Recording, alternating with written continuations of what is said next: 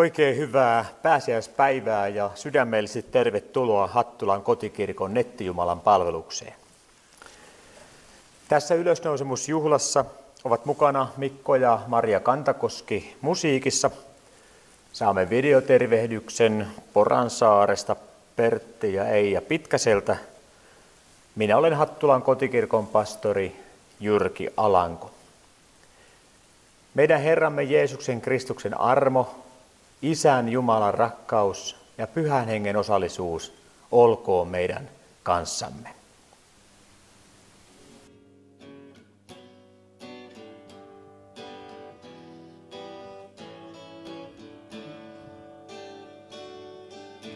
Kiitos kun saan tässä olla. Kiitos kun saan levähtää. Kiitos kun saan voimaa jolla opetella elämää. Halleluja. Halleluja.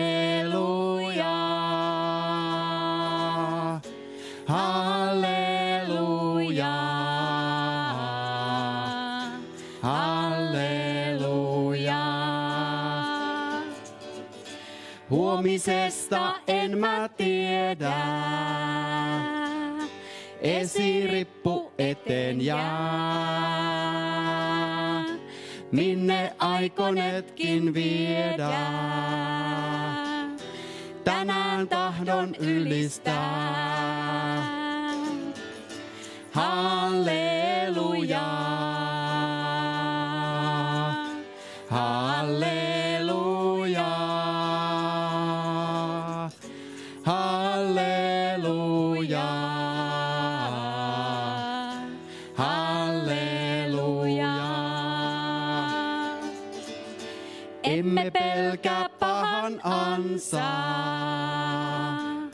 Emme pelkää kuolemaa. Omme valittua kansaa, joka aina elää saa. Halleluja. Halleluja.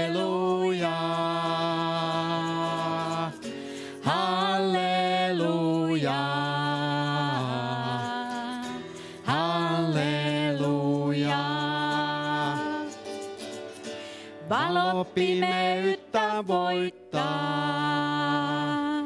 Luomakunta odottaa. Pian uusi päivä koittaa. Täynnä Herran kunniaa. Halleluja. Halleluja.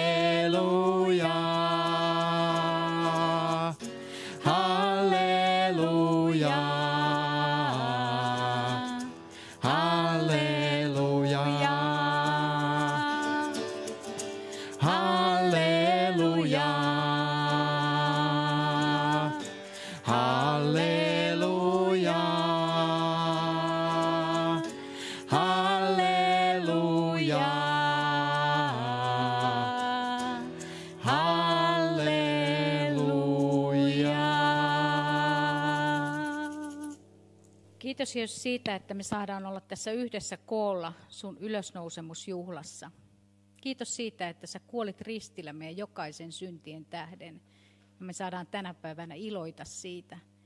Tuntea olomme turvalliseksi sinussa. Herra, mä haluan pyytää siunausta kaikille Hattulan kunnan asukkaille, kaikille, jotka ei vielä tunne sua, Herra. Lähetä sä, Herra, tänne armosi niin, että ihmiset saisivat kuulla susta ja että me jotka sut tunnetaan, voitaisiin välittää sitä ilosanomaa, Herra, mikä tänä päivänäkin on. Sä olet ylösnoussut. Wislövin sanoin, riemuitkoon siis jokainen uskovainen sydän. Pääsiäispäivä sanoo meille, että kolkata merkitsee voittoa. Jumala on hyväksynyt sovitustyön. Jeesus huutaa, se on täytetty ja kuolee. Isä vastaa lähettämällä sanan. Hän on noussut ylös. Aamen.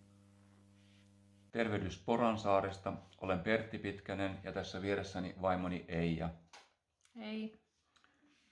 Ja laulamme pari laulua ja kerromme pääsiäistervehdyksen. Maksettu on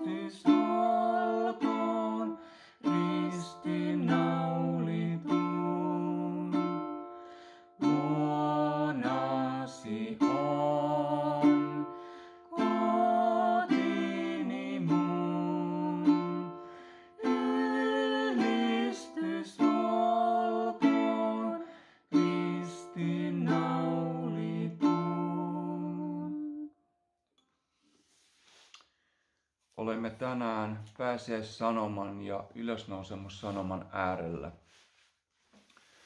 Tämä pääsiäinen on kristikunnan kaikkein suurin juhla ja pääsiäisessä vielä erityisesti Kristuksen ylösnousemus on se suurin tapahtuma.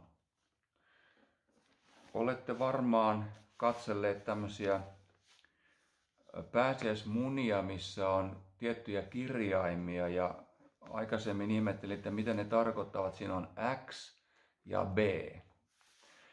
Sitten kun olen Venäjää opiskellut, niin ne on kyrillisiä kirjaimia ja ne on H ja V. Kristos Vaskrasenja. Ja se on, se on meidän kristittyjen tärkein sanoma. Kristus on ylösnoussut. Hän on totisesti ylösnoussut. Ja luen tästä ylösnousemusasiasta nytten Johanneksen evankeliumin 11. luvusta, kun Jeesus herättää Lasaruksen kuolleista. Ja ennen kuin tämä tapahtuu, niin Jeesus kohtaa Lasaruksen sisaren Martan. Ja Martta sanoi Jeesukselle, Herra, jos sinä olisit ollut täällä, veljeni ei olisi kuollut. Mutta nytkin minä tiedän, että mitä tahansa sinä Jumalalta anot, sen Jumala sinulle antaa. Jeesus sanoi hänelle, sinun veljesi nousee ylös. Martta vastasi, minä tiedän hänen nousevan ylösnousemuksessa viimeisenä päivänä.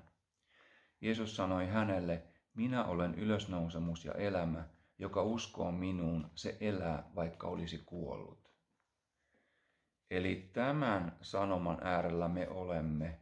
Ja me tämän päivän kristityt saamme olla tämän ylösnousemuksen todistajia, niin kuin olivat aikoinaan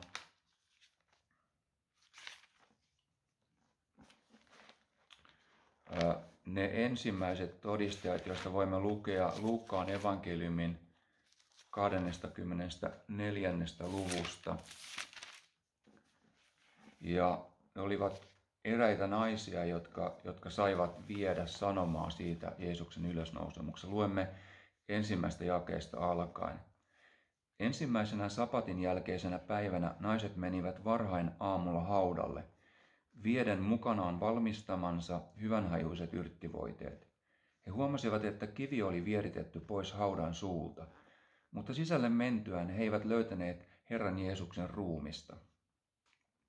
Kun he olivat tästä ymmällä, niin yhtäkkiä heidän edessään seisoi kaksi miestä säteilevän kirkkaissa vaatteissa. Naiset pelästyivät ja kumartuivat kasvoilleen maahan, mutta miehet sanoivat heille, miksi te etsitte elävää kuolleiden joukosta? Ei hän ole täällä, hän on noussut ylös. Muistakaa, mitä hän puhui teille ollessaan vielä Galileassa. Näin pitää tapahtua. Ihmisen poika annetaan syntisten ihmisten käsiin ja ristiin naulitaan, mutta kolmantena päivänä hän nousee ylös. Silloin he muistivat hänen sanansa. Kun naiset palasivat haudalta, he ilmoittivat tämän kaiken niille yhdelletoista ja kaikille muille.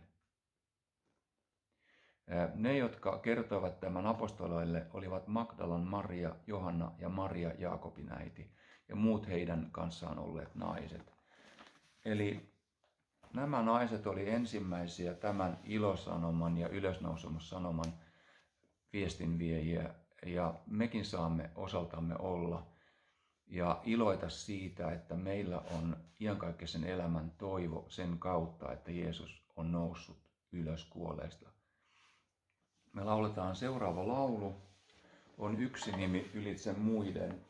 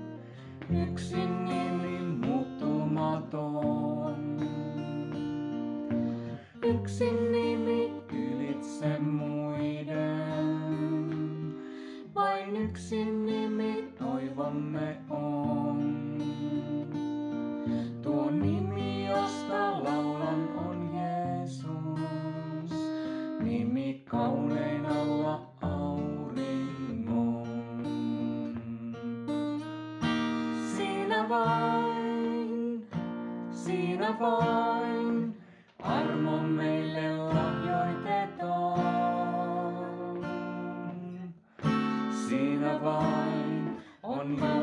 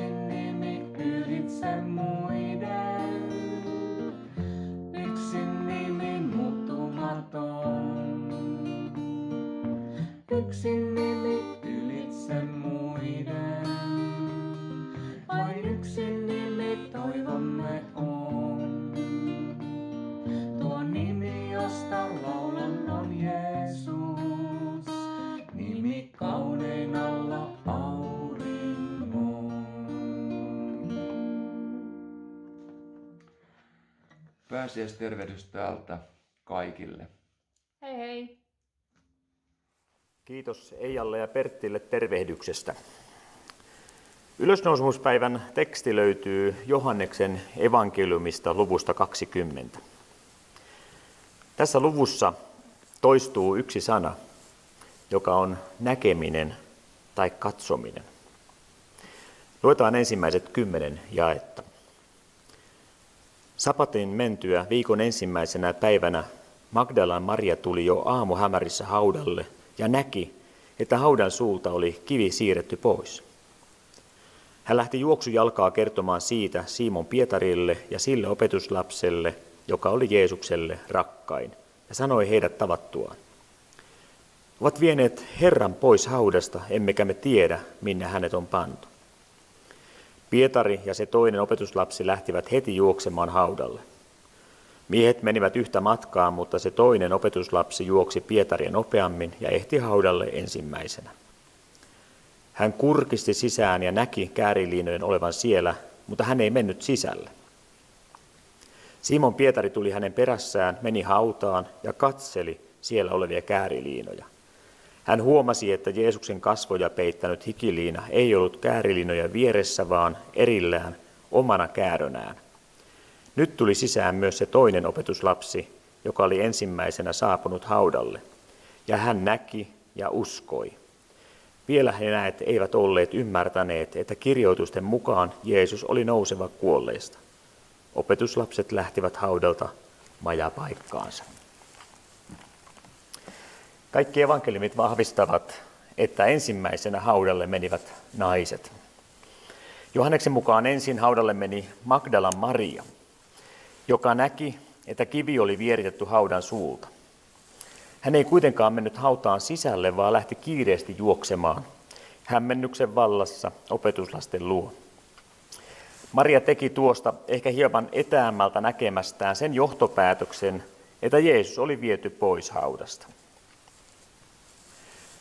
Pietari ja tämä toinen opetuslapsi, joka on Johannes, lähtivät juosten haudalle ja juoksukilpailun voitti Johannes, joka todennäköisesti oli myös nuorempi, vetreämpi juoksija. Ja kun Johannes meni haudalle, hän kurkisti sinne ja näki käärilinat siellä.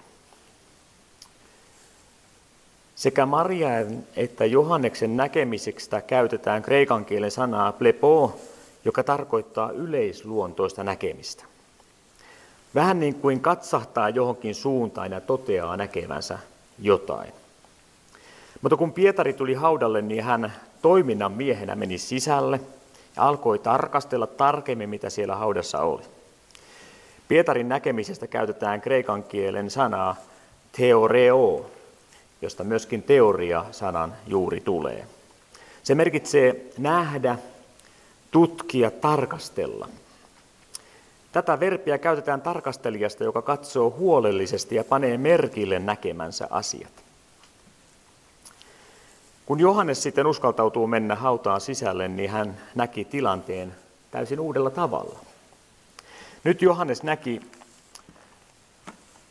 ja sitä näkemisestä tässä kohtaa käytetään kreikan kielen sanaa eidon, joka tarkoittaa aina näkemällä ymmärtämistä.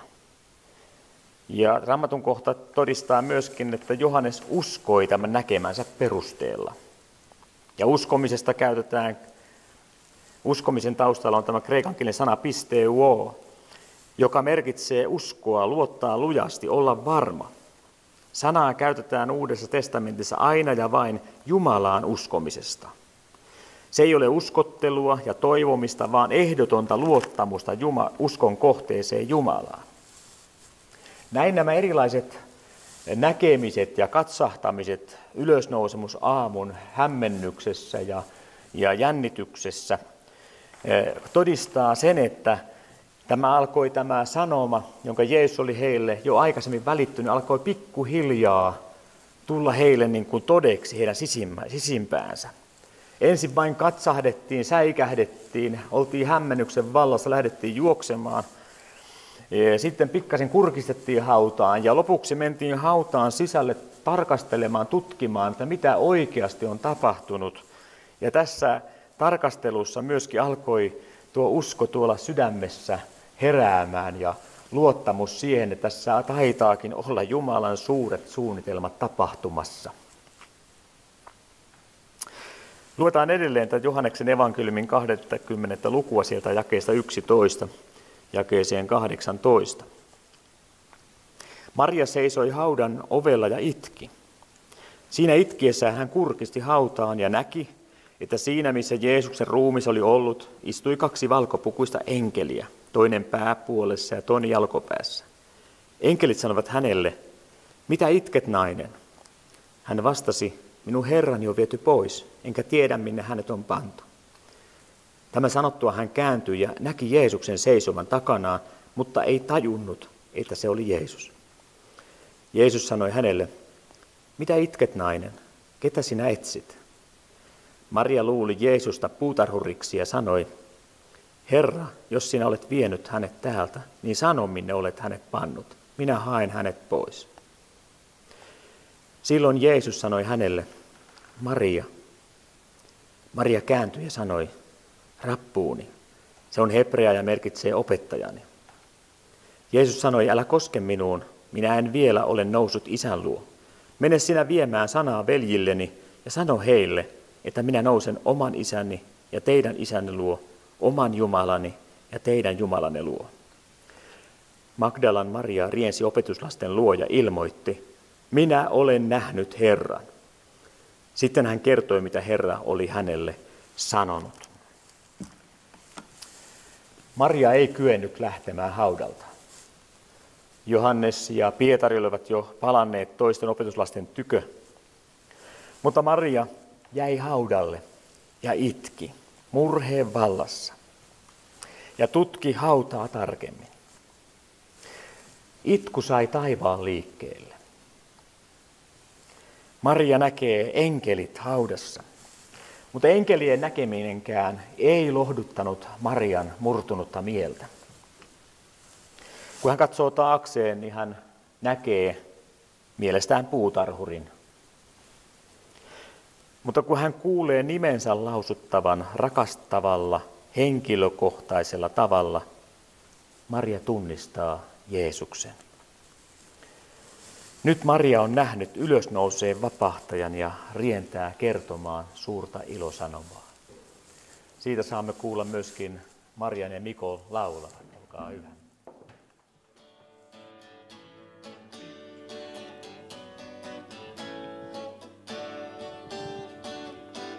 Miksi hiivit hänen haudalleen? Hän ei ole enää täällä. Etkö aamun huomaa valjenne? Hän ylös noussut on. Halleluja, tulkaa katsomaan.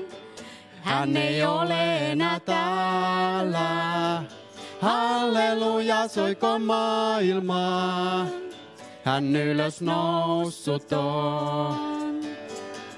Miksi jäisit vielä pimeyteen? Hän ei ole enää täällä. Anna valon päästä sydämeen. Hän ylös noussut on. Halleluja, tulkaa katsomaan. Hän ei ole enää täällä. Halleluja, soiko maailma. Hän ylös noussut on. Miksi yhä kuljet allapäin? Hän ei ole enää täällä. Nouse veljillesi, kerro näin. Hän ylös noussut on. Halleluja, tulkaa katsomaan. Hän ei ole enää täällä. Halleluja, soikoin maailma. Hän ylös noussut on. Halleluja, tulkaa katsomaan. Hän ei ole enää täällä. Halleluja, soikoin maailmaan hän ylös noussut on. Totisesti hän on ylös noussut. Voi vain arvella niitä Marian tuntoja.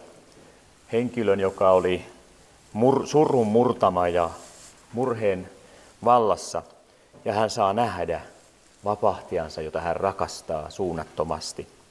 Ja lähtee tuota iloa täynnä viemään sanomaa myöskin toisille. Johanneksen evankeliumin luku 20 loppuu tekstijaksoon, jossa myös epäilevä Tuomas saa nähdä ylösnouseen Jeesuksen. Samana päivänä viikon ensimmäisenä opetuslapset olivat illalla koolla lukittujen ovien takana, sillä he pelkäsivät juutalaisia. Yhtäkkiä Jeesus seisoi heidän keskellään ja sanoi, rauha teille. Tämä sanottua hän näytti heille kätensä ja kylkensä. Ilo valtasi opetuslapset, kun he näkivät Herran. Jeesus sanoi uudelleen, rauha teille. Niin kuin isä on lähettänyt minut, niin lähetän minä teidät. Sanottuaan tämän hän puhalsi heitä kohti ja sanoi, ottakaa pyhä henki. Jolle te annatte synnit anteeksi, hänelle ne ovat anteeksi annetut. Jolta te kiellätte anteeksi annon, hän ei saa syntejään anteeksi. Yksi 12 opetuslapsesta Tuomas, josta käytettiin myös nimeä Didymos, ei ollut muiden joukossa, kun Jeesus tuli. Toiset opetuslapset kertovat hänelle, me näimme Herran. Mutta Tuomas sanoi, en usko, jos en itse näe naulan jälkeä hänen käsissään ja pistä sormeani niihin, ja jos en pistä kättäni hänen kylkeensä, minä en usko. Viikon kuluttua Jeesuksen opetuslapset olivat taas koolla ja Tuomas oli toisten joukossa. Ovet olivat lukossa, mutta yhtäkkiä Jeesus seisoi heidän keskellään ja sanoi, rauha teille. Sitten hän sanoi Tuomaalle, ojenna sormesi, tässä ovat käteni, ojenna kätesi ja pistä se kylkeeni. Älä ole epäuskoinen, vaan usko. Silloin Tuomas sanoi, minun Herrani ja Jumalani. Jeesus sanoi hänelle, sinä uskot, koska sait nähdä minut. Autoita ne, jotka uskovat, vaikka eivät näe. Jeesus ei jättänyt seuraajiaan epätietoiseksi ylösnousemuksestaan. Jeesus aina vahvisti sanaansa sitä seuraavien merkkien kautta. Silloin kun hän opetti opetuslapsia, hän kertoi näitä tai opetti näitä minä olen vertauksia, niin aina hän osoitti käytännön teoilla, että hänen sanansa ovat tosia ja varmoja. Kun Jeesus opetti, että minä olen elämän leipä, niin pian sen opetuksen jälkeen hän ruokki 5000 nälkäistä muutamalla leivällä ja muutamalla kalalla. Hän osoitti, että hänellä on kaikki valta. Hän kykenee tyydyttämään niin henkiset, hengelliset kuin fyysisetkin tarpeet.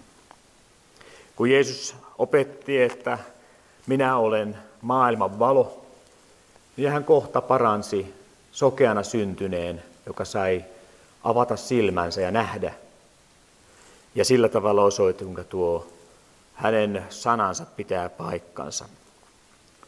Myöskin Jeesus opetti, että minä olen ylösnousemus ja elämä.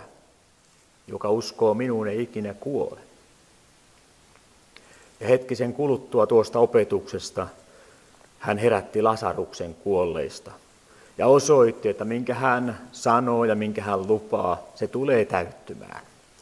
Samalla tavalla kuin hän opetti omasta poismenostaan, valmisti opetuslapsia siihen, niin hän osoitti epäämättömien todisteiden kautta, että hän totisesti on ylösnousut ja elää. Paavali kirjoittaa Korintin seurakunnalle ensimmäisen korinttilaiskirjan 15. luvussa, että Kristus kuoli meidän syntiemme vuoksi, niin kuin oli kirjoitettu. Hänet haudattiin, hänet herätettiin kuolleista kolmantena päivänä, niin kuin oli kirjoitettu. Ja hän ilmestyi Keefakselle ja sitten niille kahdelle toista. Sen jälkeen hän ilmestyi samalla kertaa yli viidelle sadalle veljelle, joista useimmat ovat yhä elossa, vaikka jotkut ovatkin jo nukkuneet pois. Opetuslapset, niin miehet kuin naisetkin, olivat ensimmäisiä silminnäkijöitä ja ylösnousemuksen todistajia. Eivät he kyenneet perustelemaan teologisesti, mitä oli tapahtunut, mutta he kertoivat sen, minkä olivat nähneet ja kokeneet. He olivat niin vakuuttuneita Jeesuksen ylösnousemuksesta, että olivat valmiina kuolemaan tämän sanoman tähden. Miten sinä katsot Jumalan sanan totuuksia ja uskon asioita? Mitä sinä näet? Näetkö tässä raamatussa elävän Jumalan pelastussuunnitelman sanoman juuri sinulle? Vai näetkö mahdollisesti kirjan kirjojen joukossa, kirjan, josta voit löytää kirjoitusvirheitä tai joitakin muita epäselviä asioita, mitä et ymmärrä? Omassa elämässäni usko Jeesukseen syntyi myöskin epäämättömien todisteiden vaikutuksesta. Minun lapsuuskodissani isä ja äitini tuli uskoon. Se oli samankaltainen tapahtuma kuin sokea olisi saanut näkönsä tai kuollut olisi herännyt henkiin. Kodissamme oli vakavia elämän hallintaan liittyviä ongelmia, mutta yhtäkkiä kodin verho tavattiin ja valo tulvi pimeisiin huoneisiin. Pelko väistyi, rauha valtasi kodin. Olin äärettömän onnellinen ja iloinen siitä, että evankeliumi saavutti meidänkin kotimme vuonna 1979. Olen kiitollinen niille evankeliumin julistajille, jotka tulivat meillekin ja kertoivat, mitä Jeesus Kristus on meidän puolestamme tehnyt. Kun näin, että Jeesus todella on ylösnousut ja elää, ja hänen elämällään on vaikutusta ihmisten elämään, minunkin elämään, niin se puhutteli minua. Jumalan hyvyys ja rakkaus veti minuakin puoleensa. Ja usko, jonka Jeesus Kristus vaikuttaa, sai aikaa minunkin sydämessäni uskon häneen. Uskon tulemisen jälkeen silmäni aukenivat ja näin eri tavalla Jumalan sanan ja Jeesuksen todellisuuden. Olin ollut uskon asioille välinpitämätön ja kyllä pidin totena, että Jumala on olemassa, mutta so what? Mitä se minun elämääni kuuluu ja mitä se merkitsee? Mutta kun Herra tuli lähelle, sanoma tuli lähelle, sanoma kosketti, ja myöskin näin, että tämä ei ole teoriaa, ei jotakin oppirakennelmaa, vaan tämä on oikeaa elämää, jonka Jeesus Kristus vai voi antaa. Niin totta kai se puhutteli minuakin ja pysäytti ajattelemaan, että olisiko elämällä sittenkin suurempi tarkoitus ja merkitys kuin mitä tähän asti olen ajatellut. Nyt meidät on pysäytetty tähän koronapandemian keskellä, pysäytetty koteihimme ja pysäytetty arvioimaan elämämme arvoja ja merkityksiä. Ja minä rukoilen ja toivon, että tämä aika olisi meille sellaista pysähtymisen aikaa, jolloin totisesti kääntyisimme Jumalan puolelle ja katsoisimme, mitä hän on sanassaan meille luvannut ja miten hän haluaa meitä auttaa tämän ajan keskellä, meitä siunata, varjella ja johdattaa. Hän antoi meille myös pyhän hengen voimaksemme olla ylösnousemuksen todistajia. Jeesus sanoi, ottakaa pyhä henki. Ja hän lähetti pyhän hengen meille voimaksi, johdatukseksi ja ohjaukseksi tässä elämämme varrella. Me saatamme olla Tuomaksen kaltaisia, jotka haluavat saada tarkempia todisteita Jeesuksen ylösnousemuksesta ja että hän elää. Mutta minä uskon, että Jeesus armahtaa ja auttaa meitä epäilevänäkin, etsivinä, hapuilevina. Hän ei ole kuitenkaan kaukana yhdestäkään meistä. Hän haluaa ilmestyä sinulle ja minulle ja osoittaa, että tässä minä olen. Luota minuun, usko minuun. Tässä minä olen, annan sinun syntisi anteeksi ja pelastan sinut. Tällä tavalla Tuomas sai erityishuomion ja Tuomakselle Jeesus erityisesti tuli ilmestymään ja sanoi, että katsele nyt, koettele nyt, koskettele nyt, katso ja näe, että minä se olen, olen ylösnousut ja elän. Johannes kirjeessään ensimmäisen Johanneksen kirjeen ensimmäisessä luvussa, jakeessa yksi, jakeeseen neljä, kirjoittaa vielä. Mikä on alusta alkaen ollut, minkä olemme kuulleet, minkä omin silmin nähneet, mitä katselleet ja käsin kosketelleet, siitä me puhumme elämän sanasta. Elämä ilmestyi. Me olemme nähneet sen ja siitä me todistamme.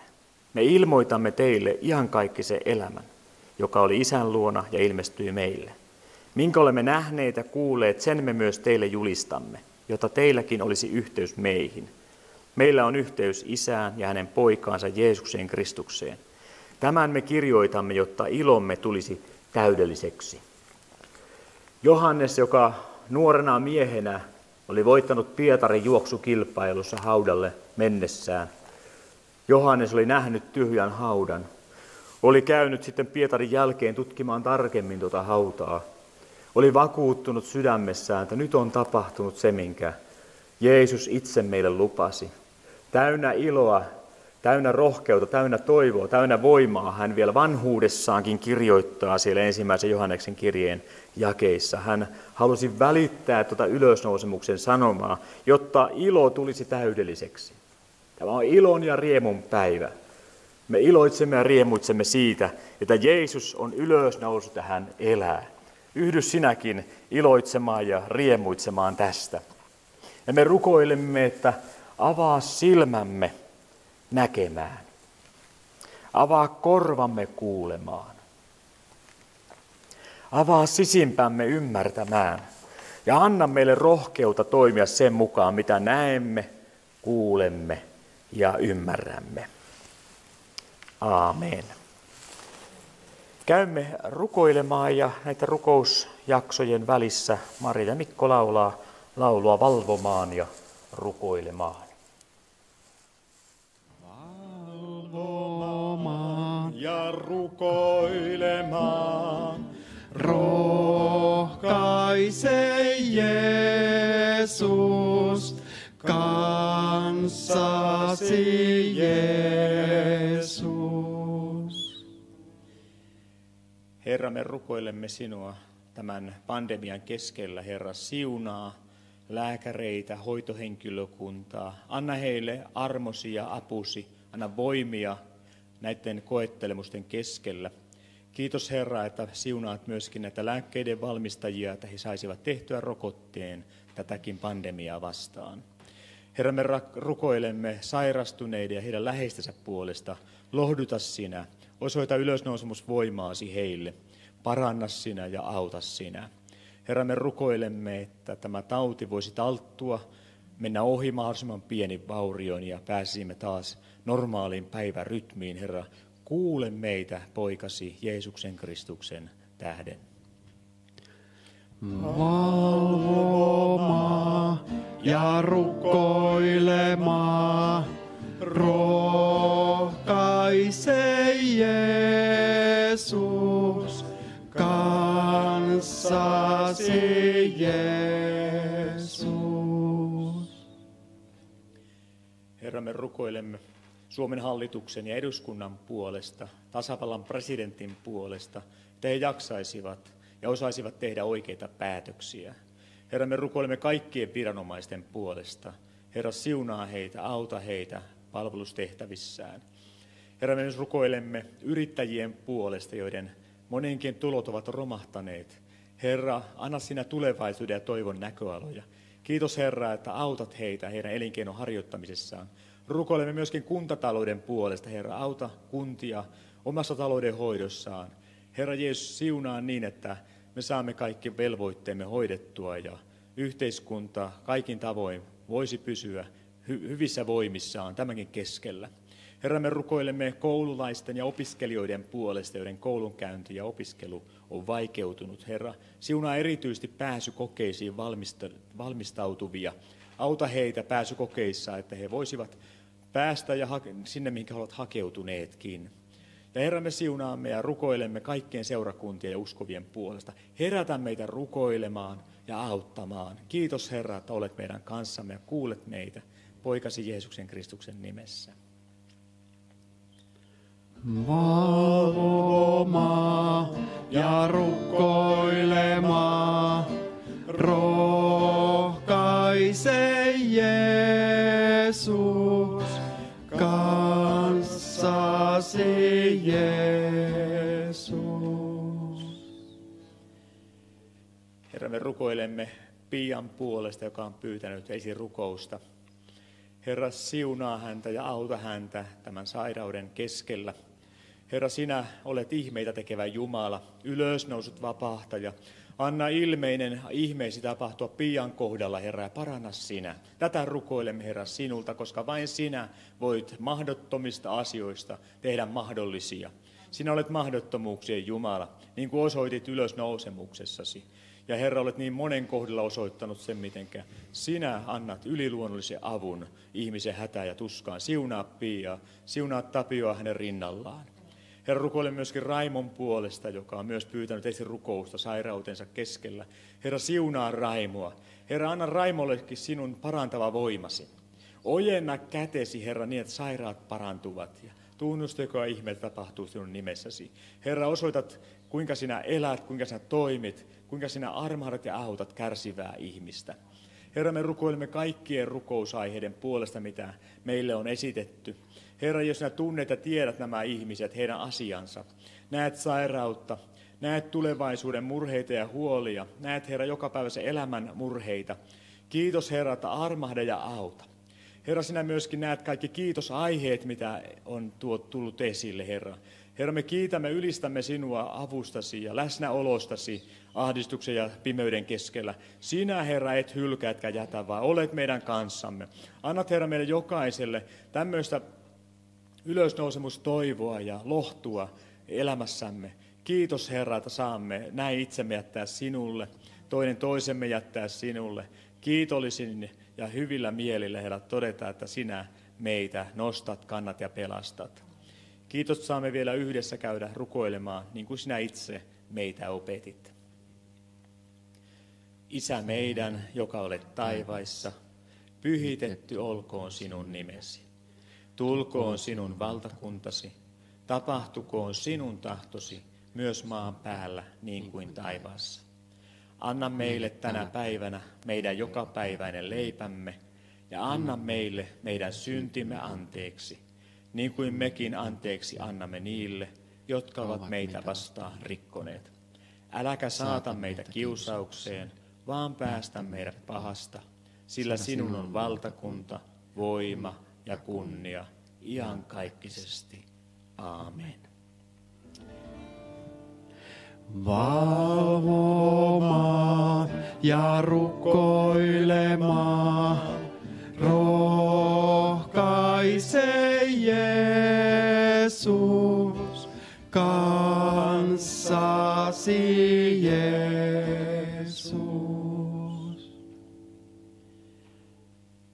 Kiitos osallistumisestasi tähän Jumalan palvelukseen. Hattulan kotikirkon toiminta jatkuu seuraavasti. Tiistaisin meillä on kello 11 ylijäämäelintarvikkeiden jako täällä kotikirkolla. Jako suoritetaan suurta varovaisuutta noudattaa ja sinne ovat kaikki tervetulleita. Voit tulla hakemaan ruokakassin myös sairaalle tai iäkkäälle ystävällesi. Keskiviikkoisin kello 18 on meidän YouTube-kanavallamme live-rukoustunti. Linkki kanavalle tulee myös Hattulan kotikirkon Facebookiin. Nyt tulevalla viikolla kanssani rukoustuntia pitämässä on Seppo Kortelainen. Sunnuntaisin nauhoitettu Jumalan palvelus tulee nähtäväksi meidän YouTube-kanavallamme, kotisivuillamme ja Facebookissa kello 18 mennessä. Ensi sunnuntain Jumalan palveluksessa ovat Seppo ja Kati Kortelainen sekä pastori Vilho Savolainen. Ota vielä vastaan Herran siunaus. Herra, siunatkoon sinua ja varjelkoon sinua. Herra, kirkastakoon kasvonsa sinulle ja olkoon sinulle armollinen. Herra, kääntäköön kasvonsa sinun puoleesi ja antakoon sinulle rauhan, isän ja pojan ja pyhän hengen nimeen. Maria ja Mikko vielä musisoivat tähän tilaisuuden päätteeksi. Olkaa hyvä.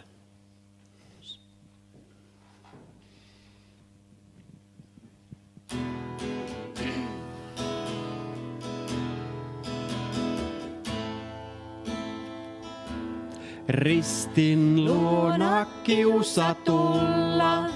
Langenneella vaivatulla paras paikka on.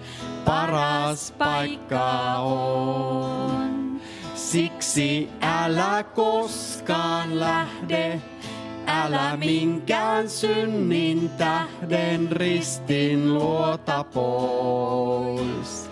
Ristin luota pois. Ristin luona ainoastaan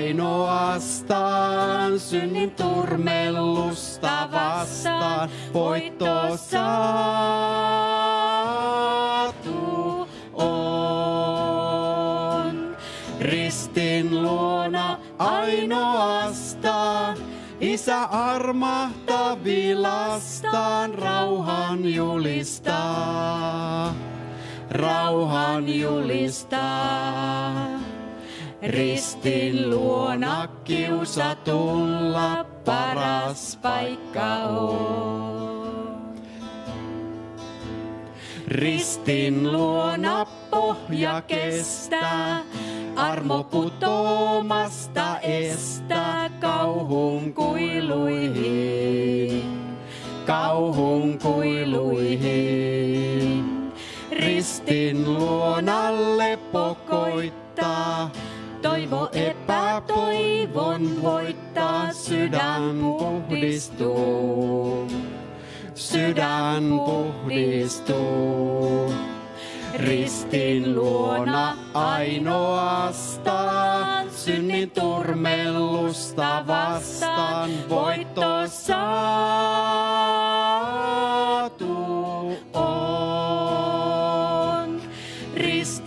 luona ainoastaan, Isä armahtavilastaan rauhan julistaa. Rauhan julistaa. Ristin luona kiusatulla paras paikka on.